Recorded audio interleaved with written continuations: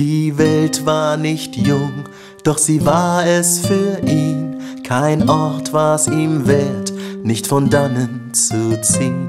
Der Pfad, der von Malfas ihm zugedachte war, war ein Weg, den er niemals betrat.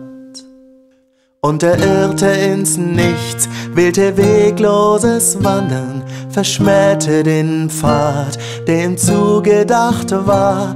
Doch der Traum, den er suchte im tiefen Abendrot, war so fern wie am ersten Tag.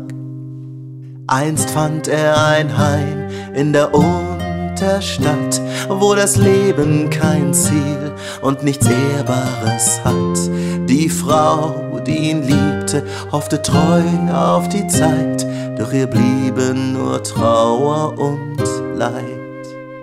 Denn er irrte ins Nichts, wählte wegloses Wandern, verschmähte den Pfad, der ihm zugedacht war, und der Traum, den er suchte, im tiefen Abendrot, war so fern wie am ersten Tag.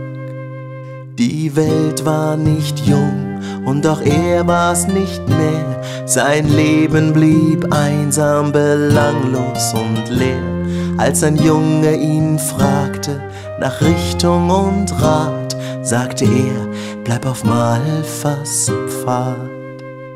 Denn du irrst in das Nichts, willst du wegloses Wandern, verschmähst du den Pfad, der dir zugedacht war, und der Traum, den du suchst, im tiefen Abendrot, bleibt so fern wie am ersten Tag.